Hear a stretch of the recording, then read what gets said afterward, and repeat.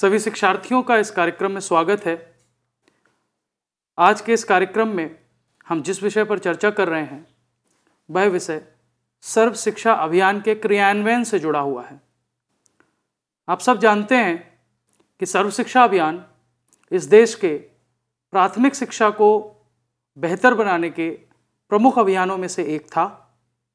2001 में शुरू हुआ ये अभियान बहुत लंबे समय तक इस देश के प्राथमिक और प्रारंभिक विद्यालयों में गुणवत्ता उन्नयन के लिए कार्य करता रहा। इस अभियान में मुख्यतः तीन बातों पर ज़ोर दिया गया था। सबसे पहले, जितने भी बच्चे हैं, उन सब तक विद्यालयों की और विद्यालयी सुविधाओं की पहुँच हो। साथ ही, उन सभी बच्चों का विद्यालय में नामांकन हो और नामांकन होने के साथ साथ वे सब बच्चे विद्यालय में आएँ और उनको गुणवत्तापूर्ण शिक्षा प्राप्त हो। इन मुख्य उद्देश्यों को ध्यान में रखते हुए सर्व शिक्षा अभियान ने बहुत लंबी यात्रा की। आज सर्व शिक्षा अभियान में विद्यालयी सुविधाओं का विकास और मध्याह्न भोजन योजना का सर्व शिक्षा अभियान को सफल बनाने में जो योगदान रहा, उस पर चर्चा करने के लिए हमारे साथ डॉक्टर पंकज कुमार जी हैं। डॉक्टर पंकज कुमार जी, देहरादून के राष्ट्रीय दिव्यांग जन सशक्तिकरण संस्थान में सहायक आचार्य हैं और शिक्षक शिक्षा से जुड़े रहे हैं। पंकज जी, आपका बहुत बहुत स्वागत है इस कार्यक्रम में। और मैं बातचीत की प्रारंभ में पंकज जी से ये जानना चाहूँगा कि सर्व शिक्षा अभियान में कौन कौन सी प्रमुख सुविधाएँ दी गई हैं। नमस्कार, डॉक्टर साहब। सर्व शिक्षा अभियान जैसा कि आपने बताया कि एक एक व्यापक योजना थी जो शिक्षा के सार्वभौमिकीकरण पर आधारित थी। और इसकी शुरुआत कहीं ना कहीं जो जो टीन में सम्मेलन हुआ, उससे आया और एक, इसका उद्देश्य आपने बहुत अच्छे तरीके से रखा कि ये सभी तक विद्यालय सुविधाओं की पहुँच तक थी। अगर ये विद्यालय सुविधाओं या उससे जुड़ी सुविधाओं की बात है तो कौन कौन सी सुविधाएँ सर्व शिक्षा अभियान के अंतर्गत दी गई या उनकी व्यापकता कहाँ कहाँ तक थी इसको समझना आवश्यक है। यदि हम लोग सर्व शिक्षा अभियान को देखें तो सर्व शिक्षा अभियान में एक बहुत ही बेहतरीन व्यवस्था की गई थी जो थी वैकल्पिक और नवाचार शिक्षा की यानी अल्टरनेट और इनोवेटिव एजुकेशन। ये उसके अंतर्गत क्या एक एक तरह का हस्तक्षेप था। ऐसे लोगों के लिए हस्तक्षेप था जो सामान्य रूप से विद्यालयों में जाने में सक्षम नहीं हो पा रहे हैं या किसी रिमोट लोकेशन पे रह रहे हैं। जैसे कोई पर्वतीय क्षेत्र का है हम्म। या तटीय क्षेत्र है हम्म। वहाँ पर अपने आप एक नवाचार की मांग जनरेट हो रही कि वहाँ वहाँ पर भौगोलिक विसंगतियाँ थी। जो वैकल्पिक और नवाचार शिक्षा की व्यवस्था की गई सर्व शिक्षा अभियान जी, में वह एक बिल्कुल ही अच्छी व्यवस्था थी जहाँ पर नवाचार करने का एक स्कोप जनरेट किया गया ताकि नवाचार किया सके। कुछ खास विशेष बच्चे थे जो मुख्य रूप से मुख्य धारा के स्कूलों में नहीं जा पाने या किस तरह से सक्षम थे। तो उनके लिए जैसे पर्वतीय क्षेत्र के बच्चे हैं या तटीय क्षेत्र में रहने वाले जहाँ भौगोलिक जहाँ भौगोलिक विसंगतियाँ हैं उन बच्चों के लिए एक अभिनव रणनीतियाँ अपनाई जा सके। इसके लिए व्यवस्था की गई कि वो सर्व शिक्षा अभियान के तहत भी जुड़ जाए। जी। इसके तहत बहुत सारे नवाचार प्रयोग में लाए गए जैसे लड़कियों की शिक्षा के लिए कंप्यूटर शिक्षा की भी जोड़ी गई बात। जी। दूसरा एक है निर्माण कार्य। हम्म। सर्व शिक्षा अभियान में यह माना गया कि सिर्फ़ हम बच्चों को जोड़ने के लिए आवश्यक है कि हम विद्यालयों से संबंधित निर्माण कार्य भी किए जाएँ। जी बहुत जी. सारे निर्माण कार्यों की आवश्यकता थी विद्यालय में हो चाहे किसी संसाधन केंद्र की हो। तो निर्माण कार्य को भी सर्व शिक्षा अभियान में एक महत्वपूर्ण एक विद्यालय संबंधी विकास जी उसमें चाहे अतिरिक्त कक्षों के निर्माण की व्यवस्था रही हो जी। रसोइयों भोजन बनाने के लिए अतिरिक्त कक्ष के निर्माण की व्यवस्था रही हो विद्यालय की चार दीवारी को बनाने की व्यवस्था रही हो। या प्रखंड संसाधन केंद्र के निर्माण की बात हो या संकुल संसाधन केंद्र के निर्माण की बात हो। जी। लेकिन इसमें एक और भी चीज़ रखी गई कि कुल परियोजना का 33 प्रतिशत से अधिक खर्च नहीं कर सकते वो। निर्माण कार्यों निर्माण कार्यों में। जी। क्योंकि अगर नहीं तो निर्माण कार्यों पर ही कहीं केंद्र ना हो हो जाए जाता। हो जाए। इसलिए निर्माण कार्यों के लिए रखा गया कि भाई तैंतीस प्रतिशत से नहीं करेंगे। और उसी पैसे से जो प्रखंड संसाधन केंद्र है क्योंकि शिक्षकों का उन्नत होना आवश्यक भी है। ज़रूरी है। हाँ इसलिए इस चीज़ का रखा गया। तीसरी कुछ नवाचारी क्रियाकलाप भी किए गए। एक जो वो पहला था वैकल्पिक और नवाचारी शिक्षा वो एक मॉडल के रूप में था इसे ए आई ई के नाम से भी दिया गया था। इसके अलावा भी बहुत सारे नवाचार क्रियाकलाप किए गए। पंकज जी आप बहुत अच्छे विषय पर बात कर रहे हैं और अभी आपने नवाचारों की बात की। तो मैं ये जानना चाहूँगा और हमारे शिक्षार्थी भी ये जानना चाहेंगे कि सर्व शिक्षा अभियान के अंतर्गत ऐसे कौन से नवाचारी अभ्यास थे जिनको अपनाया गया या जिन्होंने सर्व शिक्षा के माध्यम से प्रारंभिक शिक्षा को सुदृढ़ बनाने में अपनी भूमिका निभाई?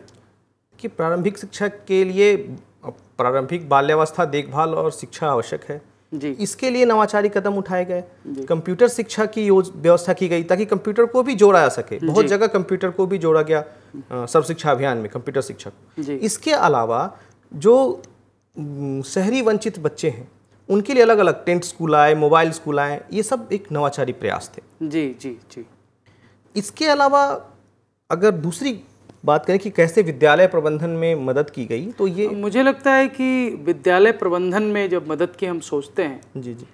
तो जहाँ तक सर्व शिक्षा अभियान के विभिन्न घटकों और विभिन्न कार्यक्रमों की हम चर्चा करते हैं तब उसमें अनुसंधान और मूल्यांकन की भी अपनी बड़ी महत्वपूर्ण भूमिका है। बिल्कुल।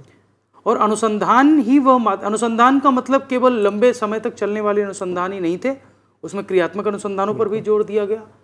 तो मैं जानना चाहता हूँ कि सर्व शिक्षा अभियान को सफल बनाने में अनुसंधान कार्यों और मूल्यांकन की जो नीतियाँ और रणनीतियाँ अपनाई गई उनकी क्या भूमिका रही? बिल्कुल एक पूरा अनुसंधान और मूल्यांकन यानी शोध और मूल्यांकन का एक क्षेत्र ही सर्व शिक्षा अभियान में था जो जिनका काम ही यही था कि जो भी मूल्यांकन पर्यवेक्षण या मॉनिटरिंग या निगरानी संबंधी जो कार्य हैं उसको कर सकें। अब ये बात आती है कि अनुसंधान या शोध क्यों? या मूल्यांकन क्यों? जी।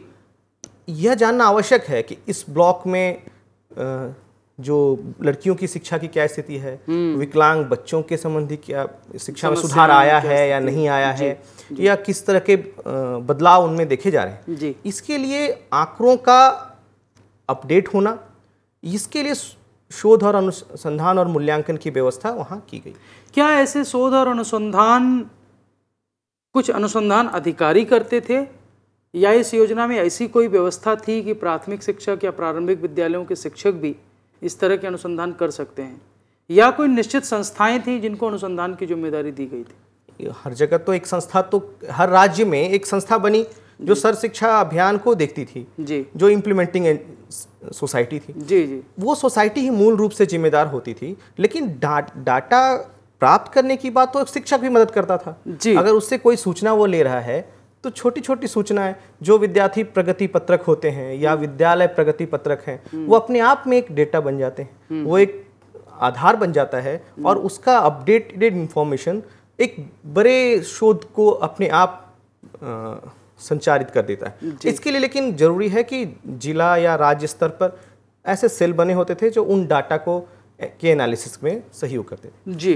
तो डाटा एक बड़ी भूमिका में निभाया जिससे हम स्कूल की मैपिंग कर सकते हैं कि भाई स्कूल में अ, क्या प्रगति हो रही है क्या आवश्यक है। जी। किस जगह छोटे स्तर की भी प्लानिंग कर सकते हैं क्लासरूम में क्या किस क्लासरूम में कैसी व्यवस्था होनी चाहिए। या फिर हम बच्चों के अचीवमेंट को भी एनालाइज कर सकते हैं। जी। इसके साथ साथ अगर देखें कि जो बच्चे पिछड़ रहे हैं जैसे जो ग्रुप पिछड़ रहा है तो इन सब संबंधी जो आंकड़े हैं वो एक शोध द्वारा ही और मूल्यांकन द्वारा ही आएँगे। मूल्यांकन का सीधा मूल्यांकन तो हर शिक्षक करता है। उस मूल्यांकन में हम एक विद्यालय जो शिक्षार्थी हैं वो भी देख कर सकते हैं कि अपने स्कूल में एक छोटा सा मूल्यांकन किया वहाँ देखा किन बच, खास बच्चों की प्रगति बेहतर हो रही है किन बच्चों की प्रगति में वो पिछ, पिछड़ रहे हैं। और ये खास करके आप बहुत सारे आप आंकड़ों को इकट्ठा कर कर फिर उस पर क्रियान्वयन की तैयारी की जा सकती है। जी। इसके लिए इसलिए कहा जा सकता है कि ये बहुत इंपॉर्टेंट है और शिक्षा का प्रबंधन बहुत इंपॉर्टेंट है इस इसी के द्वारा संभव है। और सूचना प्रणाली भी दुरुस्त होती है इससे क्योंकि आप आंकड़ों को सामने रखते हैं प्रस्तुत करते हैं कि क्या स्थिति है। उससे समाज भी सजग होता है और स्वयं शिक्षक भी जानकारी प्राप्त करता है। जी। इसके अलावा विद्यालय को अनुदान देने की बात कही गई। सर्व शिक्षा अभियान में प्रत्येक विद्यालय को दो हज़ार रुपये दिए जाते थे। ये दो हज़ार रुपये। किस लिए? ये मासिक तौर पर दिए जाते थे या वार्षिक तौर पर? मासिक तौर पर। मासिक तौर पर। इसका क्या भूमिका थी? दो हज़ार रुपये क्यों दिए दो हज़ार रुपये में एक हज़ार रुपये जो थे वो पुस्तकालय के लिए दिए जाते थे। अच्छा विद्यालय का अपना पुस्तकालय पुस्तकालय हो विद्यालय के और एक हज़ार रुपए जो कुछ वाद्य यंत्र वगैरह कुछ खरीद सकते हैं या मस्त- मन- शिक्षण हाँ, संसाधन कोई बनाने मरम्मत कर लें कोई फर्नीचर खरीद लें या कोई देखभाल के लिए कुछ कर लें ऐसा कर सकते थे। जी। तो ये एक बड़ी बात वहाँ उसमें रखी गई। जी। विद्यालय के साथ साथ शिक्षकों के लिए अनुदान भी दिया गया। पाँच सौ रुपये का अनुदान। अच्छा। तो ये पाँच सौ रुपये का अनुदान वो अपने लिए टीचिंग लर्निंग मटेरियल बना सकें। जी। तो समय समय पे ज़रूरत पड़े या इससे वो टीचिंग लर्निंग मटेरियल खरीद भी सकते थे। अच्छा अच्छा। बनाने के साथ साथ पुनः एक और महत्वपूर्ण भाग है सर्व शिक्षा अभियान का शिक्षक प्रशिक्षण का। जी जी।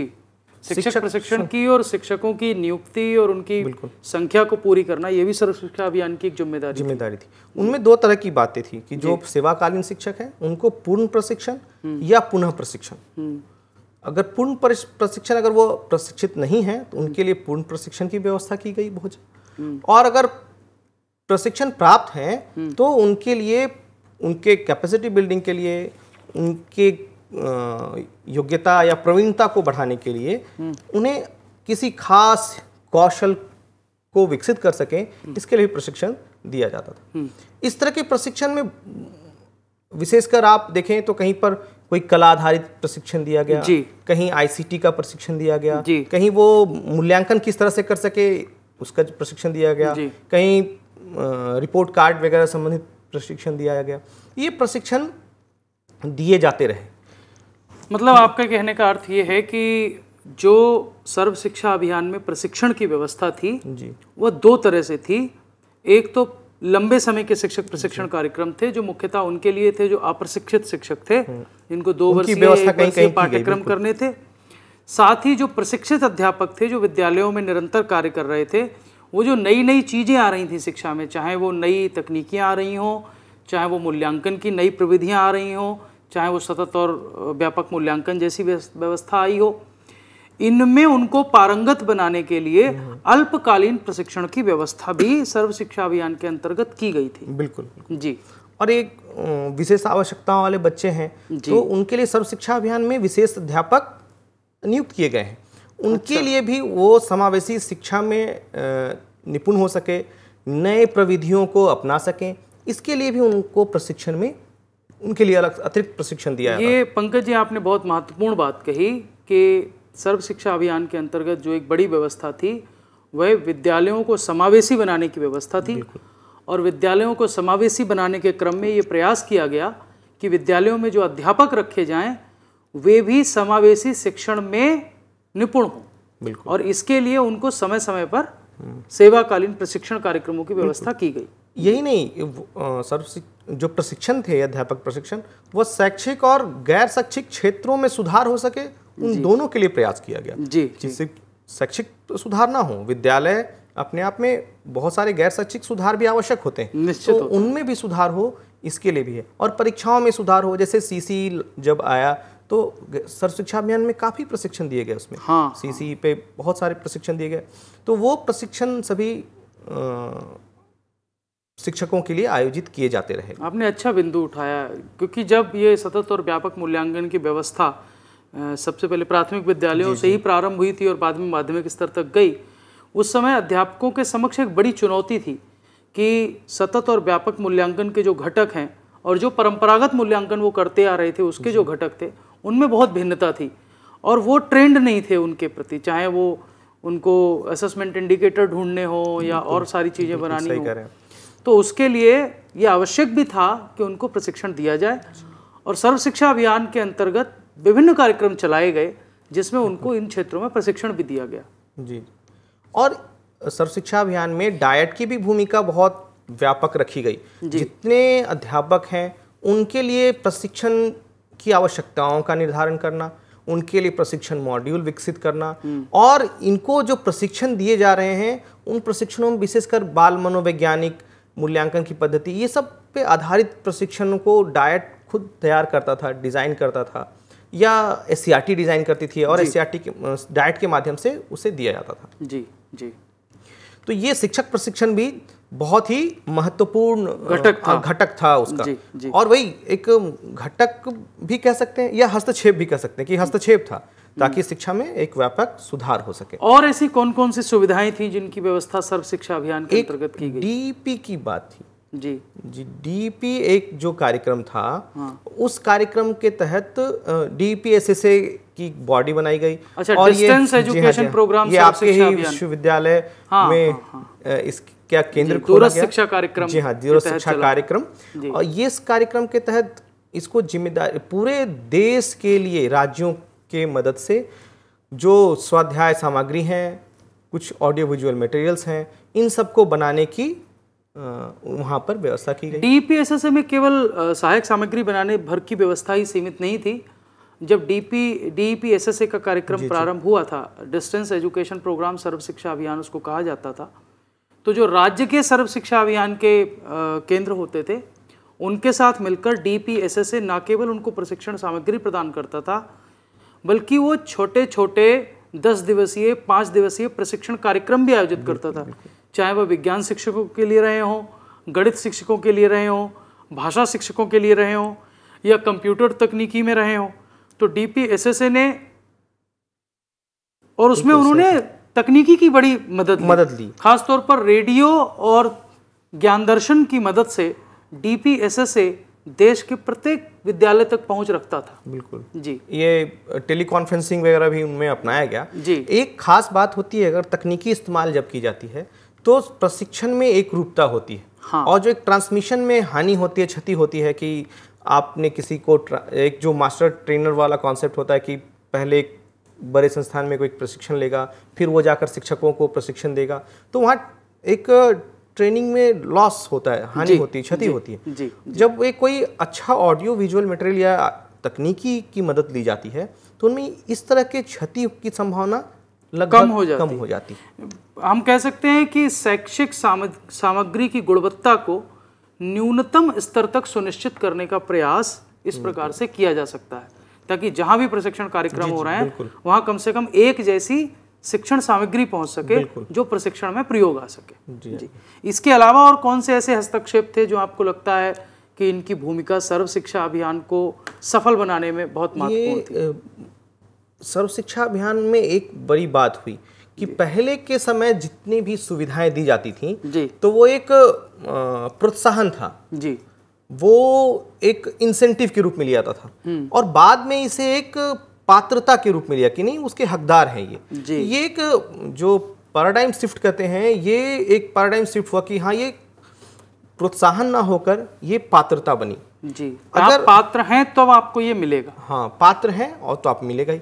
और ये कोई मेहरबानी नहीं कर रहे हैं कि हाँ, भाई आपको हमने ऐसा दे दिया और एक इंसेंटिव है दिया तो दिया नहीं तो, तो नहीं दिया। अब उसके वो पात्रता रखते हैं उन्हें मिलना चाहिए। जी जी।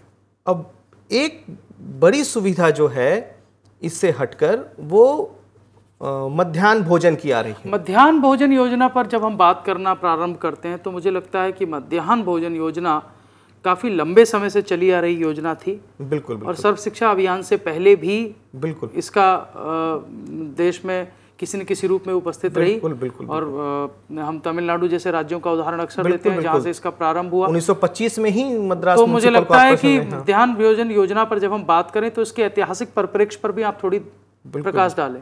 बिल्कुल बिल्कुल। ये जो मध्यान्ह भोजन योजना है ये 1925 में ही मद्रास नगर निगम में वंचित बच्चों के लिए कार्यक्रम शुरू किया गया उनको दिन में भोजन दिया जाता था। जी। बाद में नब्बे और इक्यानवे में यह योजना 12 राज्यों में लागू कर दी गई। अच्छा। बाद में एक राष्ट्रीय कार्यक्रम का रूप लिया और ये उन्नीस सौ पंचानबे में विद्यालयों में ये अ, सभी विद्यालयों में लागू कर दिया गया। हाँ, मुझे लगता है इसके दो उद्देश्य रहे। मध्याह्न भोजन योजना का जो प्रमुख उद्देश्य था वो एक तो ये था कि जो बच्चे विद्यालय में आते हैं वो कुपोषण का शिकार ना हो। बिल्कुल। उनको अच्छा भोजन जो उनको पौष्टिक भोजन चाहिए वो प्रतिदिन उनकी ज़रूरतें पूरी हों। उससे भी बड़ी इसकी भूमिका ये रही कि इसके साथ साथ बच्चों का विद्यालय में लंबे समय तक रोके रखना और उनकी रोज उपस्थिति सुनिश्चित करना बिल्कुल, ये भी इस योजना का एक प्रमुख उद्देश्य रहा। बिल्कुल इस योजना का प्रमुख उद्देश्य ये बहुत इंपॉर्टेंट रहा क्योंकि अक्सर हाँ लोग कहते हैं कि भाई इस योजना ने क्या योगदान दिया। इस योजना का योगदान अगर देखें तो ये इसने सबसे महत्वपूर्ण की विद्यालयों में नामांकन को सुनिश्चित किया। जी। विद्यालयों में नामांकन ही सिर्फ़ नहीं कि नामांकन लिए तो नामांकन लेकर के भी ड्रॉप आउट हो रहा था उसको रोक करा। इसके अलावा जो उपस्थिति होती थी कि बच्चे आकर के विद्यालय में नहीं टिक पा रहे हैं चले जा रहे हैं उसको नकारा उसे खत्म किया। और जो सामाजिक असमानता होती है हम्म। उसे भी दूर करने में यह बहुत कारगर रहा। क्योंकि जब आप देखें तो मध्यान्ह भोजन योजना में बच्चों को एक साथ खाना परोसा जाता है एक साथ बच्चे बैठते हैं। सामाजिक समरसता समरसता विकसित होती है। जी। और जो भेदभाव होते हैं जब आप मिलकर एक साथ बैठते हैं किसी क्रियाकलाप में भाग लेते हैं तो अपने आप सामाजिक समरसता विकसित होती है। जी। तो ये इसलिए बहुत ही महत्वपूर्ण योजना ये देखिए कि विद्यालय में रही। और अगर इसको देखें तो अब ये पूरे विश्व की सबसे बड़ी योजना है। अच्छा। ये विश्व की सबसे बड़ी पोषण कार्यक्रम है हाँ, जो एक बड़ा पोषण हाँ, पोषण कार्यक्रम। अगर अभी देखें तो करीब जो अभी वेबसाइट पे तत्काल डाटा था उसमें बारह दशमलव छः पाँच लाख विद्यालयों विद्यालयों में यह कार्यक्रम चलाया जा रहा है और करीब 12 करोड़ बच्चे इससे लाभान्वित हो रहे हैं। बड़ी जनसंख्या। हाँ 2010-11 की जो रिपोर्ट है उसमें करीब 11.36 करोड़ ब- अम, पूरे बच्चे कवर कर रहे थे इसमें पूरे देश में। जी जी। तो ये और समय समय पर जैसे जैसे इस योजना का मूल्यांकन होता रहा योजना के स्वरूप में भी परिवर्तन होता रहा। किसी समय उनको केवल कच्चा भोजन दिया जाता था फिर बाद में कच्चे भोजन से बात पके भोजन पके भोजन पे। फिर भोजन का कई राज्यों में मैंने देखा है कि उन्होंने भोजन का एक टाइम टेबल तय कर दिया कि किस दिन बार उनको क्या क्या मिलेगा कितनी मात्रा मिलेगी हाँ। ताकि जितने भी पोषक तत्व हैं वो सब बच्चों को मिल पाए। सफल क्रियान्वयन के लिए ज़रूरी है लेकिन दिसंबर 2004 से सभी को पके हुए भोजन देने की व्यवस्था की की गई। और ये बहुत ही बेहतर भोजन है। ऐसे देश जो एक विकासशील देश होता है जहाँ पर भोजन भी एक महत्वपूर्ण अवयव होता है। जी। और कई लोग तो विद्यालय इस कारण ही नहीं आ पाते थे कि कहीं ना कहीं आजीविका में लगे हुए हैं। हम्म। तो उन बच्चों के लिए भी उस समय यह बहुत ही इफ़ेक्टिव रहा कि उनको भोजन मिलता था दिन का। इसलिए वो विद्यालय में आते थे। और एक बड़ा ही प्रभावी रहा था जो शिक्षा तक पहुँच को निर्धारित कर रहा था। साथ साथ बच्चों की जो उपस्थिति होती है उसको निर्धारित कर रहा था। नामांकित बच्चों के जो प्रतिधारण है जो रिटेंशन है उसे भी मेंटेन कर रहा था। और तय है कि अगर बच्चे नामांकित हो रहे हैं आ रहे हैं विद्यालय की गतिविधियों में भाग ले रहे हैं तो उनके आउटपुट भी विकसित होंगे उनमें आउटपुट भी outcome भी इसीलिए इस योजना को निरंतर लागू रखा गया और जब हमारा शिक्षा का अधिकार अधिनियम 2009 में लागू हुआ तब उसमें भी इसकी निगरानी की व्यवस्था ग्राम शिक्षा समितियों को दी गई जी जी। कि ग्राम शिक्षा समितियों के जब कार्य निर्धारित किए गए शिक्षा का अधिकार अधिनियम में तो जब हम कार्यों का अध्ययन करते हैं तो उसमें देखते हैं कि उसमें एक ग्राम शिक्षा जो विद्यालय प्रबंध समिति बाद में हो गई जी जी जी। अलग अलग नाम से जाने जाते हैं नहीं नहीं जब सर्व हमारा सर्व शिक्षा अभियान चलता था तब वो ग्राम शिक्षा समिति के नाम से जाने जाते थे। लेकिन जब शिक्षा का अधिकार अधिनियम आया तो तो वो स्कूल मैनेजमेंट कमेटी विद्यालय प्रबंधन समिति हो गई और विद्यालय प्रबंधन समिति के कार्यों में निश्चित तौर पर यह स्पष्ट किया गया है कि उसका एक प्रमुख कार्य है कि मध्यान्ह भोजन योजना सुचारू रूप से चले और मध्यान्ह भोजन की गुणवत्ता सुनिश्चित हो। ये काम विद्यालय प्रबंधन समिति को सौंपा गया। बिल्कुल बिल्कुल। देखिए विद्यालय कोई भी जब ये विद्यालय कोई शिक्षा कोई एक सरकार का ही की ज़िम्मेदारी नहीं है। पूरे समाज की ज़िम्मेदारी होती है। हम्म। अगर समाज का हर व्यक्ति भागीदारी अपनी सुनिश्चित कर ले तो शिक्षा में गुणवत्ता अपने आप आ जाएगी। जी। और अगर हम इसे शिक्षा के कंपोनेंट या अवयव के रूप में देखते हैं मध्यान्ह भोजन को तो यहाँ पर भी समाज के हर भाग से भागीदारी की आवश्यकता होती है। और अगर ये भागीदारी दी जाए तो तय है कि मध्यान्ह भोजन का कार्यक्रम सफल होगा। अगर मध्याह्न भोजन का कार्यक्रम सफल होता है तो इसकी जो गंभीरता है यह काफ़ी बड़ी है। गंभीरता मतलब इसे नेगेटिव सेंस में नहीं एक इम्पैक्ट देने वाला एक अच्छा प्रभाव देने वाला ये कार्यक्रम है। और जो सर्व शिक्षा अभियान के कार्यक्रम थे उनको इन्होंने बहुत प्रभावित किया। जी। अगर सर्व शिक्षा अभियान को देखें तो सर्व शिक्षा अभियान को मिड डे मील योजना से बड़ा सपोर्ट मिला जी। कि अगर एक जहाँ पर आपकी समस्या थी सब शिक्षा अभियान के रिपोर्ट्स में समस्या आ रही है कि ऐसा 2004 के बाद जब कम परोसा हुआ भोजन मिलने लगा तो बच्चों की संख्या मिड डे मील के कारण बहुत जगह बहुत बढ़ी। अब तो कैलोरीज भी डिसाइड हैं। हाँ। और डिसाइड है कि भाई कितना भोजन मिलना मैं, है। मैं मैं वही मैं वही बात कर रहा था कि इस योजना में लंबे समय से चूँकि ये योजना उन्नीस से लगभग शुरू हुई बारह राज्यों में जैसे आपने बताया। और तब से धीरे धीरे देश के प्रत्येक राज्य में पहुँची। प्रत्येक राज्य की तात्कालिक सामाजिक परिस्थितियों में भी इसने बदलाव लाया। सामाजिक समरसता विकसित की सभी विद्यार्थियों को साथ साथ बैठना खाना सिखाया। साथ ही इसके निरंतर जो मूल्यांकन होते रहे उससे इसमें सतत सुधार आते चले गए। बिल्कुल। सतत सुधार आने का कारण ही था कि 2004 के बाद से पके भोजन की व्यवस्था की गई। फिर उसमें कैलोरी काउंट करनी शुरू कर दी हमने कि कितने कैलोरी भोजन प्रतिदिन बच्चे को चाहिए। फिर उसमें विविधता लाने लगे। एक ही भोजन उनको सप्ताह में छः दिन नहीं दिया। प्रतिदिन भोजन में अलग अलग प्रकार के भोजन दिए गए। तो ये बड़े सुधार आए। बिल्कुल ये सुधार अब ये आवश्यक भी है कि जब तक हम ये ना कहें कि भाई हम बच्चों से एक्सपेक्ट कर रहे हैं कि वो एक देश के अच्छे नागरिक बने। तो उनमें नागरिकता के मूल भावों का हम विकसित कर रहे हैं तो उसमें भी ये ज़रूरी है कि वो हर चीज़ों को समझे, अपने अधिकार को समझें, उनके माँ बाप भी अधिकार को समझें। तो ये एक अधिकार के रूप में मिला उससे एक पात्रता के रूप में मिली कि भाई वो दिन में उसे भोजन मिलेगा। ये कोई इंसेंटिव नहीं था कि सरकार की तरफ़ से कोई इंसेंटिव नहीं दिया जा रहा है कि हाँ उससे आपको मिल भी सकता है, नहीं मिल सकता है। ये अधिकार के रूप में आया। तो इसलिए एक अच्छी योजना के रूप में ये रही। पंकज जी, आपने बहुत विस्तार से आज जो सर्व शिक्षा अभियान है, उसकी कुछ सुविधाओं के विषय में चर्चा की, जिसमें से पहली चर्चा आपने की, सर्व शिक्षा अभियान का विद्यालय निर्माण में क्या योगदान है? सर्व शिक्षा विद्यालय के निर्माण को, विद्यालय में सुविधाओं के निर्माण को, संकुल केंद्रों के निर्माण को, खंड, प्रखंड स्तर के संस्थानों के निर्माण को क्या महत्व दिया गया? साथ ही आपने ये भी बताया कि शिक्षक प्रशिक्षण एक बड़ा बड़ा अवयव था, या बड़ा हस्तक्षेप था सर्व शिक्षा अभियान का। सर्व शिक्षा अभियान में न केवल सेवा पूर्व प्रशिक्षण, बल्कि सेवाकालीन प्रशिक्षण की भी व्यवस्था की गई। और इसमें आपने सर्व शिक्षा अभियान का जो दूरस्थ शिक्षा कार्यक्रम था, जिसे D P S S A के नाम से जानते थे तो D P S S A की क्या भूमिका रही, इसको भी आपने स्पष्ट तौर पर और बड़े विस्तार से हमारे विद्यार्थियों के लिए बताया। साथ ही आपने मध्याह्न भोजन योजना की ऐतिहासिक परिप्रेक्ष्य से प्रारंभ करते हुए और वर्तमान तक जो बदलाव हुए और उनका इस योजना का शिक्षा की गुणवत्ता बढ़ाने में क्या योगदान है इसके क्या सकारात्मक पक्ष हैं उन पर आपने विस्तार से चर्चा की। मुझे उम्मीद है कि जो हमारे शिक्षार्थी इस कार्यक्रम को देखेंगे वो इन योजनाओं का सर्व शिक्षा अभियान में क्या लाभ रहा सर्व शिक्षा अभियान को सफल बनाने में ऐसी योजनाओं ने क्या भूमिका निभाई इस पर वे विस्तार से जानकारी एकत्र कर सकेंगे साथ ही स्वयं चिंतन और मनन करेंगे और इसके बारे में और मूल्यांकन करने के लिए वो अपने राज्य में चल रही ऐसी बहुत सारी योजनाओं को ढूंढेंगे और उनका भी मूल्यांकन करेंगे। आपका इस जानकारी को हमारे विद्यार्थियों तक तो पहुँचाने के लिए बहुत बहुत धन्यवाद पंकज जी और सभी विद्यार्थियों का भी धन्यवाद।